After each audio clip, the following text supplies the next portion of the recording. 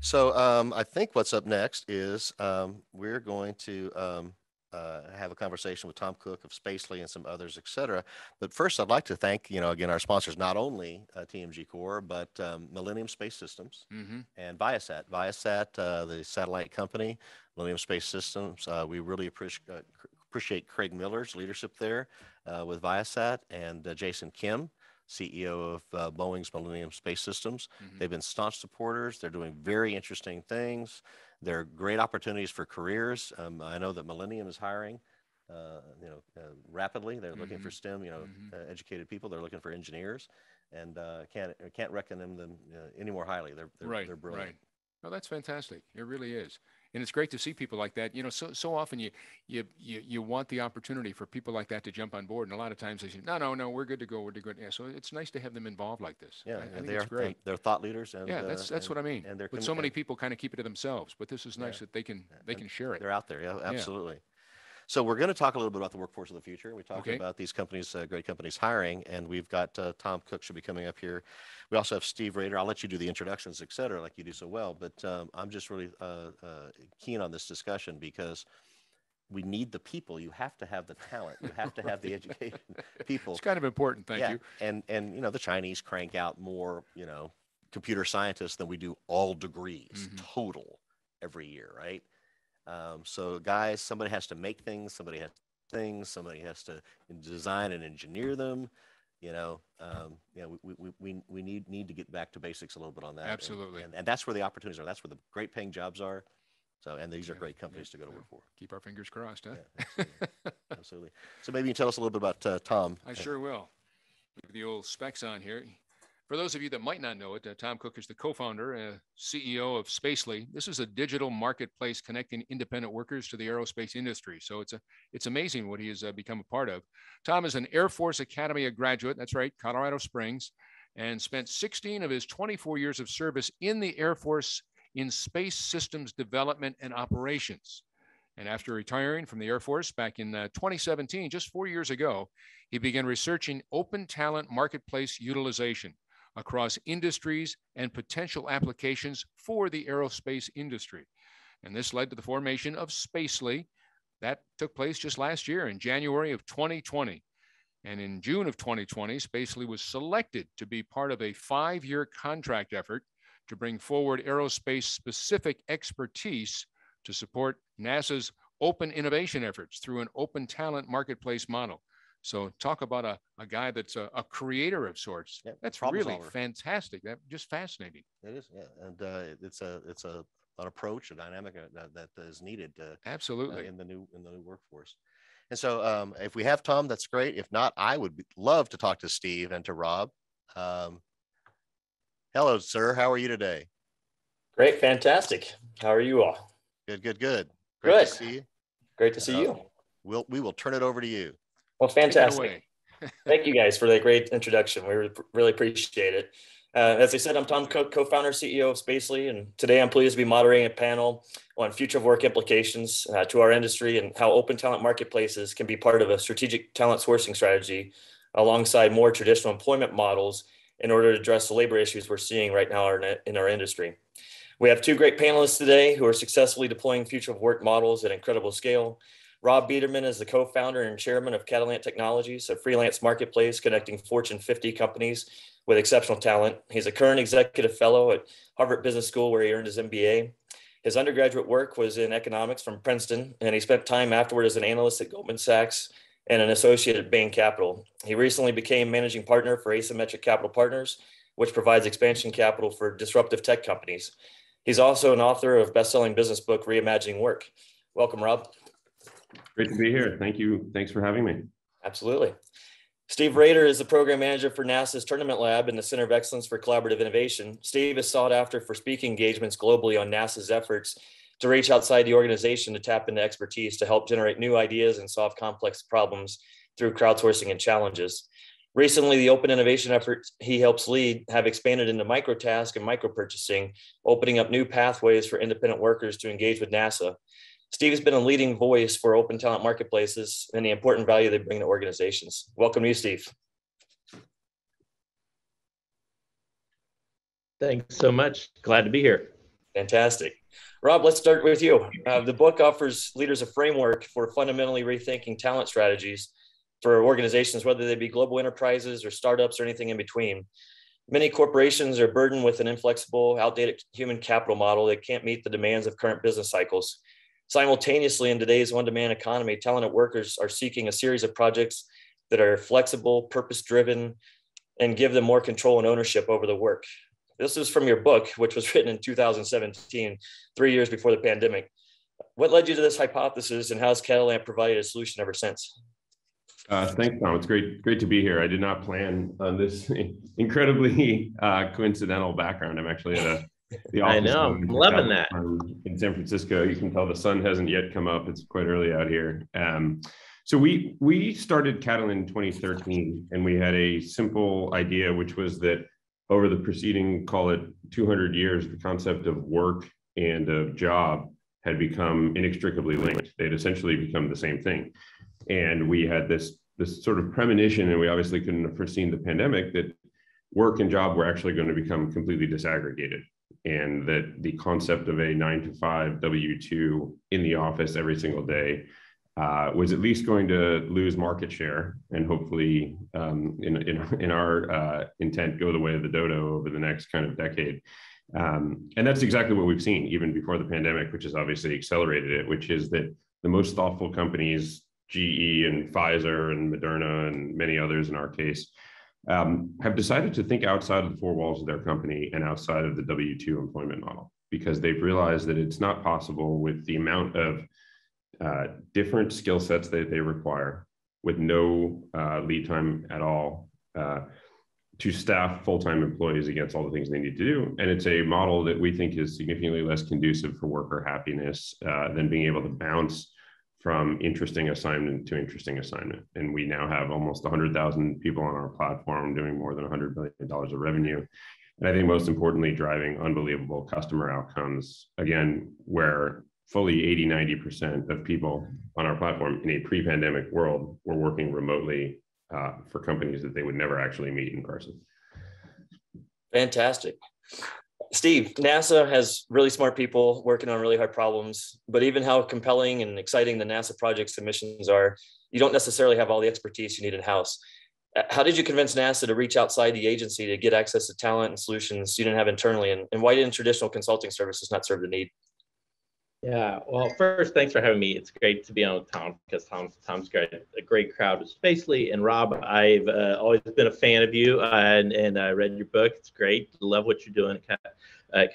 So um, thanks for having me on. Um, yeah, I'm not sure I have convinced everyone at NASA to use these tools. First off, uh, you know, we've been doing this for about 10 years. This is our 10 year anniversary for the Center of Excellence at, uh, for Collaborative Innovation at NASA and uh, it has been a struggle. Um, I will tell you, there is a business case study that if you take the Harvard Business School course on innovation that you'll take that's called Houston, We Have a Problem, that is about our workforce rejecting these methods. Um, and I, it's it is hard for the traditional workforce who especially at nasa where you know you come in you are the innovator. You hired me to solve hard problems uh, for for them to accept the idea of well we're going to go outside to actually innovate or to get expertise. That that just that doesn't compute.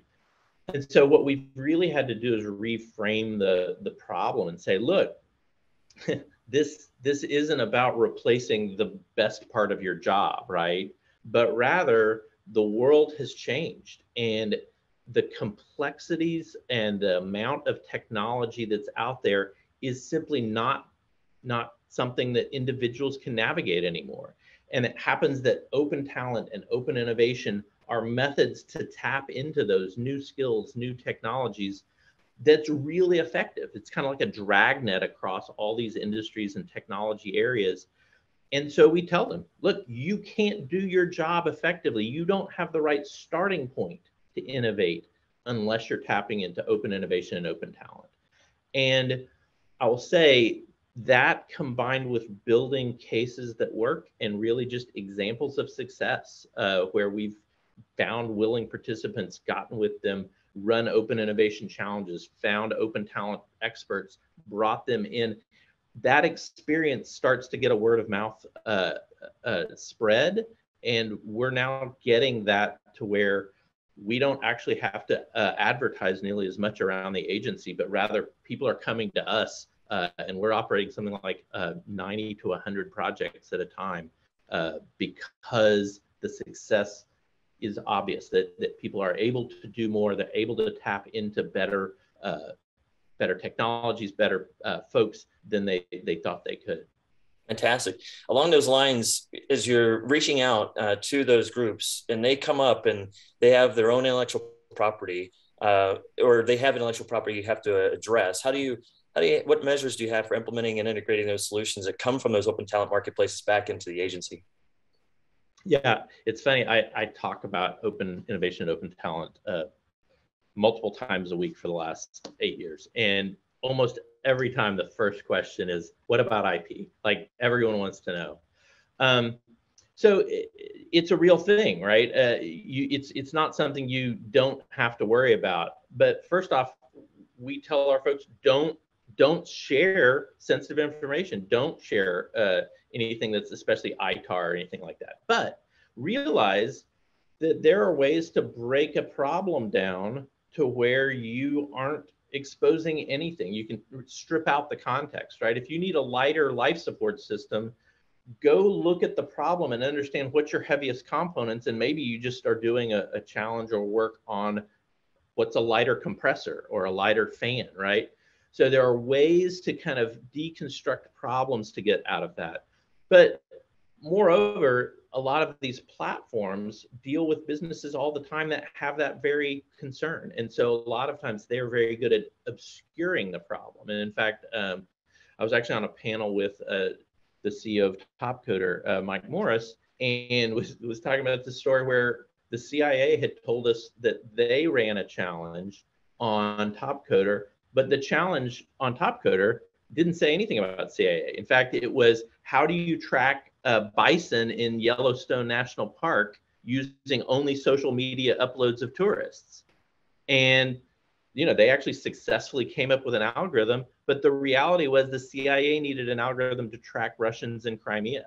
Um, and, and that was how they did that. So there's, there's lots of examples of obscuration and how that worked. Um, and then there's also the security concern, right, that comes along with IP, which is, hey, but what about the hacker that's going to inject code that you know somebody's going to come in and do something bad? And we put lots of of measures in there to to protect the products that we bring in against those things as well. So we have lots of of different checks and balances there, uh, but it is very manageable. Like in the open talent, open innovation marketplace, this this is handled every day and, and you really you can handle the intellectual property.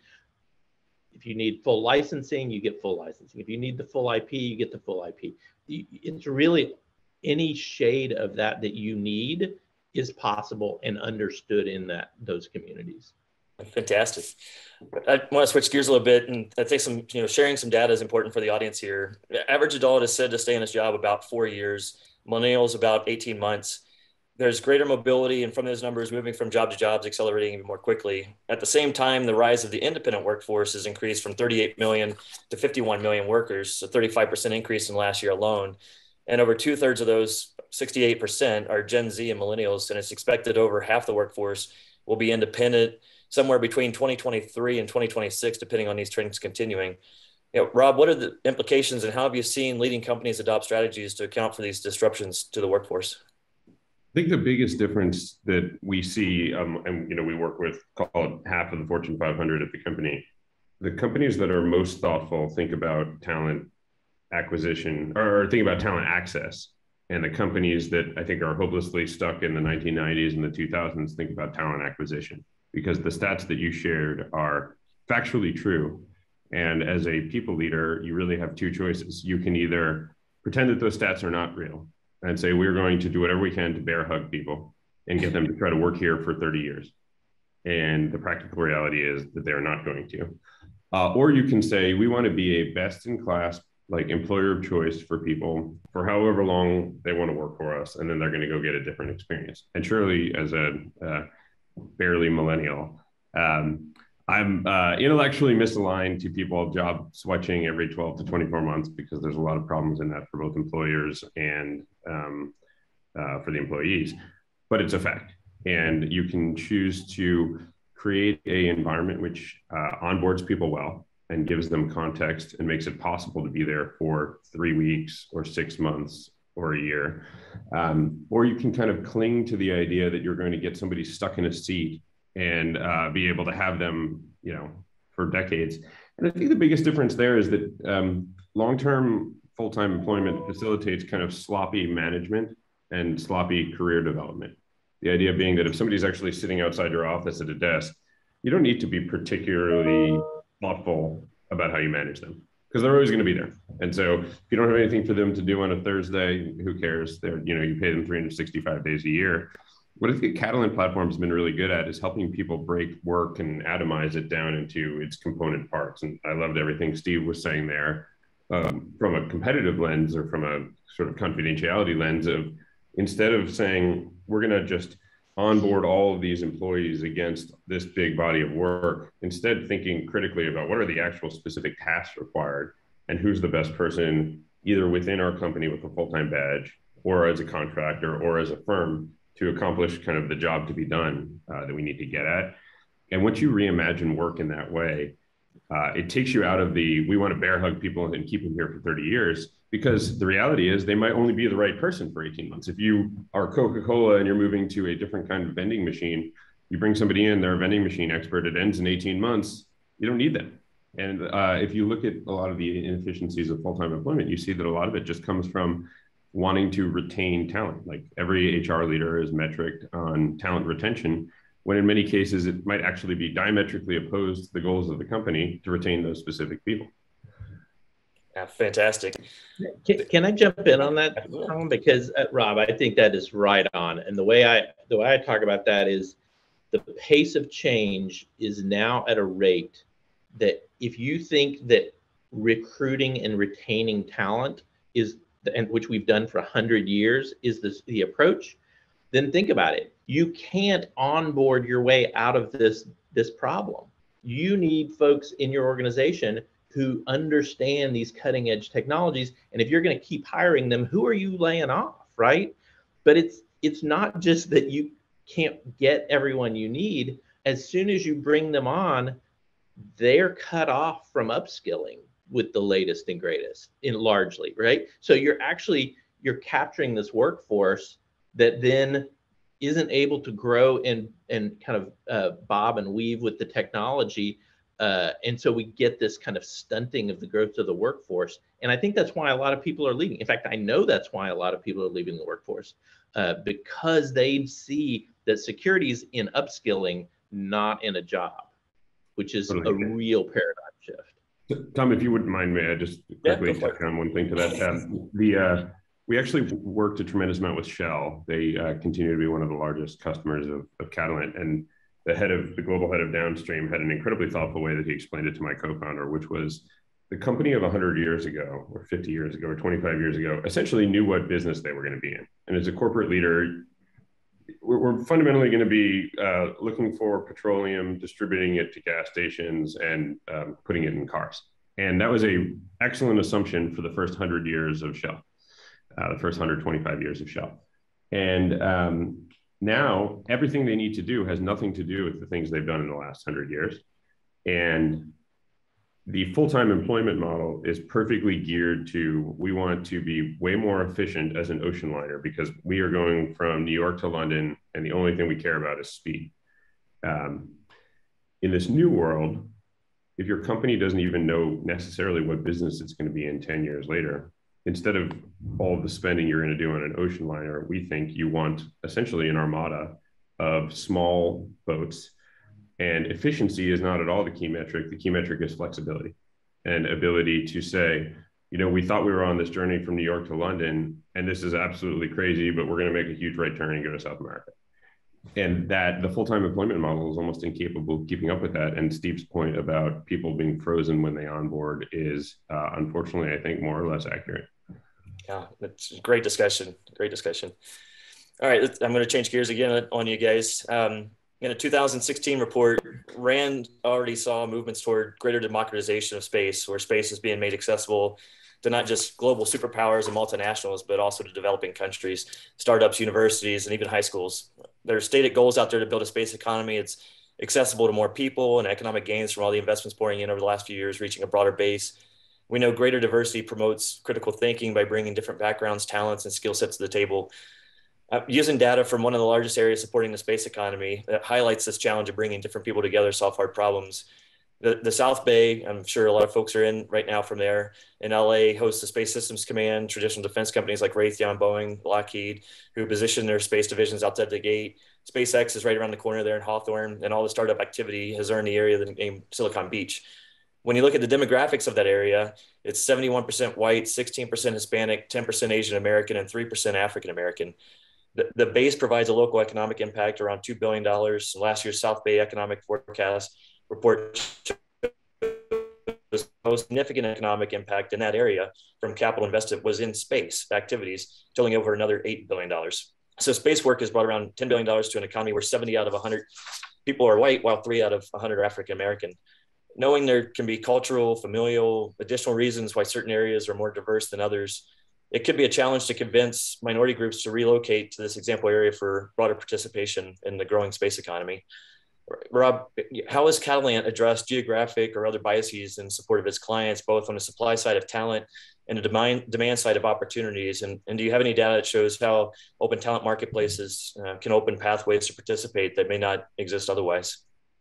For sure. Well, I think uh, talent marketplaces are actually one of the greatest um, distributors and uh, di- uh, forces for dispersion of economic outcomes that you can have. If you think about the traditional corporation, and I think we all know that the majority of kind of American Fortune 500 companies are not based in San Francisco and New York and, and Dallas and Chicago. They're actually based in places like Peoria, Illinois, and you know West Plains, Missouri. Um, what I think you see with open talent marketplaces, particularly ones with a focus on hybrid work and remote work, is that economic opportunity goes to the person truly most capable of taking on the project with significantly less bias. If you think about all of the uh, unfortunate biases built into full-time talent and the way it's in which it's acquired, and to your point, a lot of geographic constraints, it's almost impossible to imagine that you will have equitable outcomes from that. Um, versus a world where you can present talent to employers in a way that is based on uh, objective data uh, using advanced kind of like non-human driven models for this person has this many years experience in this type of role or has a degree in this or has demonstrated this sort of capability.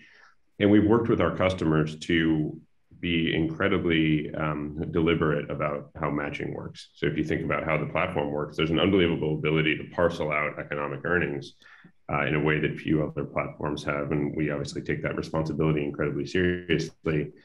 And from the very beginning, we uh, I think overwhelm a lot of the heuristics and biases that um, characterize how talent is matched in the economy. And I think the biggest perpetuator of that, uh, as, as somebody who's clearly benefited, is uh, the names on the resume. This, the specific, particularly with respect to educational institutions, because I think if you look at some of the best regarded educational institutions in the US, it's, it's not clear to me at all that they're actually some of the best, um, but they're perceived that way. And so when people see a resume from Harvard or you know Cal Berkeley, they're way more likely to you know transact uh, than they see another resume. And I think we we sort of flipped that on its head. Uh, we didn't see that Harvard Business School people necessarily completely outperformed people from other schools um, in the early days. And uh, we basically said, no, we're going to do a completely different matching process, which is obviously proprietary, but most over skews to have you demonstrated aptitude for the specific skill set? Have you proven to a person we deem credible that you're capable of doing this? Which, if you actually think about it in a reductive way, is the only way that talent should be matched. And uh, that's, I think, led to a far more equitable um, uh, set of outcomes. And it's also brought people into the workforce um, that have trouble with a nine to five model because they have parental care responsibilities or child care responsibilities, or they're an introvert, or they have a disability that makes commuting difficult. Um, and I think the net of that is a workforce that is far from perfect, but I think is far more kind of exciting and and and leads to a great, much greater diversity of minds working on problems. Steve, let's let's talk about that a little bit more in the last couple of minutes we have. You know, I look at that as providing operational resilience to your business, and of course, the pandemic really forced us into thinking more about that, right?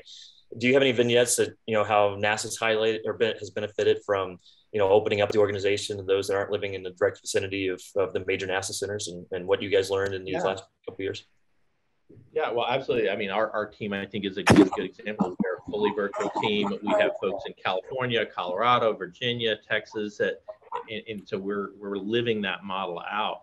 Um, but I'll just say, we we by definition uh, try to engage people from all around the world, right? So our, our roots are all in open innovation, and and the whole premise of open innovation is that if you're looking for technical solutions in only your technical bubble, you're missing out because the solutions are actually out there in the diversity uh, and innovation is a, a direct relationship with diversity.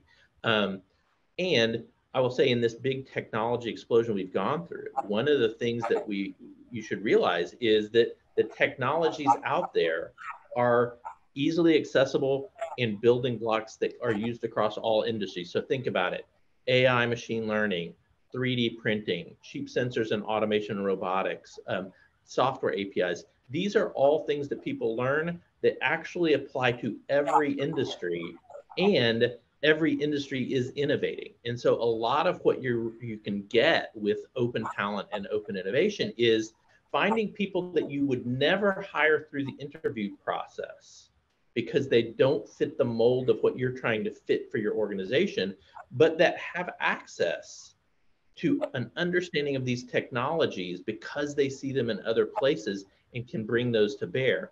Uh, or they're simply just have a different perspective. I can tell you stories of, you know, a freshman at Berkeley who was learning machine learning, who actually won one of our Homeland Security uh, challenges uh, on on actually fixing the uh, the personnel scanners at airport.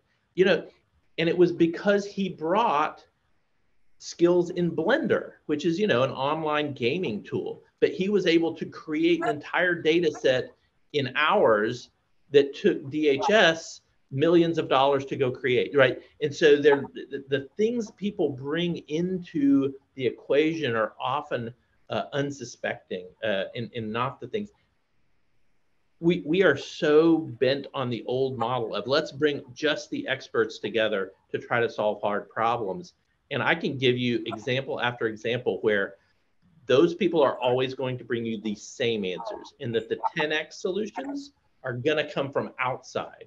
Um, in fact there's an mit study that looked at InnoCentive which is one of these crowd innovation platforms and they looked at all of the solutions that were coming out of that and they found that 70% of the time that there was a solution it came from someone not in the domain of the, the, the problem owner right 70% of the time what have we done for r&d for the last 100 years we put five chemists in a chemistry lab and say go innovate and find the next big solution and this says that that's only going to work 30% of the time and by the way, that same study showed that 75% of the time, the solver already knew the solution. In other words, it already existed in that other industry. So the reason all this disruption is happening is it's happening over here in another industry and then popping out in your industry. Um, and and I think we can get ahead of that with these open talent models. So Fantastic. Well, Rob and Steve, I want to thank you both for taking time to discuss these uh, talent strategies for the aerospace industry and wish you both continued success in helping people and organizations work together more effectively. And thanks again for such great insights today. We really appreciate it. Thank you, Tom. Yeah, we'll send it back to Dave. We would certainly agree, Tom. Rob and Steve, you guys were just great. But uh, Tom, go look in the mirror. You were just as good too. So thank you much. Thank you so much. Thank you so, so much no, for this having is, was it was a great trifecta. We can't thank all three of you enough. Stay uh, stay uh, stay well. Thank you so much. That was great. I really great. enjoyed that. And it's one of the big problems that we, we have to solve. It's all about talent, making the, engaging the workforce, making work possible. So I appreciate uh, their innovation in that. Absolutely, absolutely.